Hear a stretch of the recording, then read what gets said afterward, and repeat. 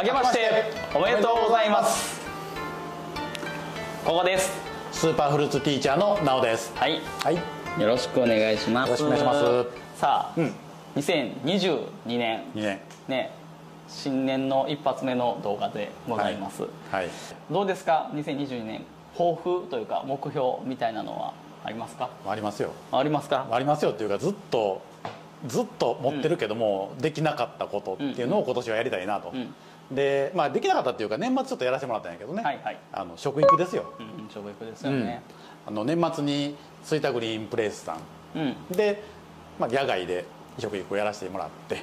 でそこを皮切りにして、まあ、この年始も一件控えてます。しこの後ねそうこの後、はい。問い合わせだけだったら結構ね問い合わせいただいてるんでもう今年はしっかりとちょっと子どもたちに果物のことを伝えるという活動をさせていただきたいなとまあ、丸2年コロナの影響で活動できなかったんですけれども、うん。まあ、問い合わせが増えてきてるっていうところは、まあ、皆さんそろそろなんかそのかね。ね、対策もしていいんじゃないかっていうところが、まあ、社会的にもそんな雰囲気が出てて、うん。まあ、だから問い合わせが来てるっていうところなのかな。ね。やってほしいって思っていただけてるっていうことなんで、そうですよね、はい。でまあ、僕らもねほんまさっきも説明しましたけど年末と、まあ、年始この後もさせてもらうことで、まあ、はい。年末に、まあ、子供たちとちょっと会えたっていうところは、うん。やっぱ良かったよね。いいね。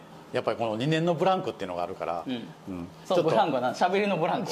のブランク。喋りのブランクちょっと下手になってるみたいなね そう、うん、まあそういうのもありながら、はい。まあ、食育にちょっと力入れていきたい一年にしたいっていうことですね。そうですね。まあしていきますってことだね。あそうですね。うん。うん。はい。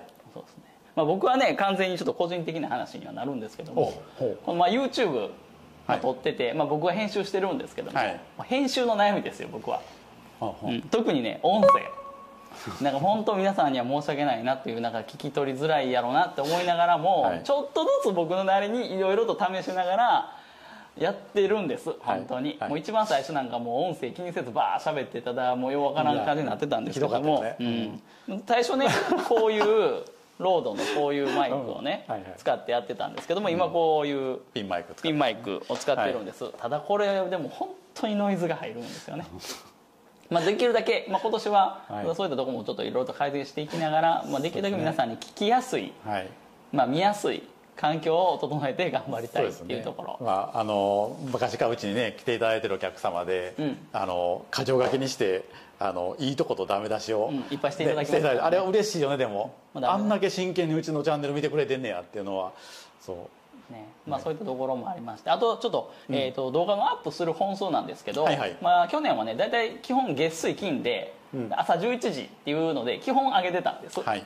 だけどリアルタイムじゃない動画も結構あって、はい。そのもう果物アップした時にはあその果物終わってるなみたいな感じがね、うん。どうしてもあったので今年はちょっとあんまりその月水金にこだわらず、はい。できるだけリアルタイムにねちょっとその、上げていけれるようにします、はい。うん。なのでちょっと不規則になるっていうところがまあ今年あ月水期にこだわらずに出していくね。出していくっていう、だからもう1日にもう23もしかしたら2本3本出してちょっとしばらくちょっと開くっていうことももしかしたらあるかもしれないし、まあ、そういったところはできるだけ果物に関してはリアルタイムに上げていこうというところを心がけると。余計忙しになるんいやそうなんです大丈夫？いやそうなんですよ、まあ、他の仕事もちゃんとしないといけないんでね、うん。まあ、そういったところも、まあ、頑張るというところでございます、はいあとはなので果物に関して言うと、ん。まあ、去年があんまりでした果物。全体的になんですけども収穫的なもひどかったよ。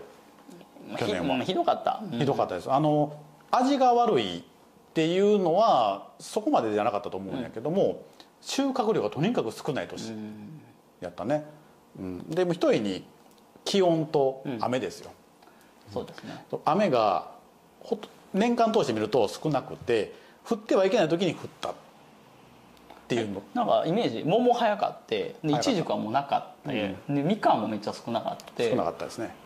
そうやな、リでンゴ。も全部早かったんですよ。なんかね本当に、半月とか言わんけど、まあ、1週間ちょっとぐらい早くてもう終わりは半月ぐらい早いみたいな感じなんでそう収穫量がもうひどい作物だったら半分とか、まあ、産地にもよりますけどね。そうですね。はいまあ今年は、まあね災害もないことを祈りながらそうですね。ねまあ、果物もそうですけどもね、まあ、住む方もね本当そう災害がない年になればいいなと思ってますけれども、ね。はい。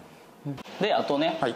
フルーツ大学やフルーツ大学さっき食育はフルーツ小学校の子供向けだったんですけども、フルーツ大学も再開しようと思ってます、やりたい。うん。うん。でまあ大体時期的には夏前ぐらいにできればいいなと思ってます、はいうん、そこぐらいからまあやりだして、まあ、8月はちょっと多分1回お休みすると思うんですけども、はい。まあ、そういったところを計画はしてますので、はい。それは楽しみにしていただきまして、はい。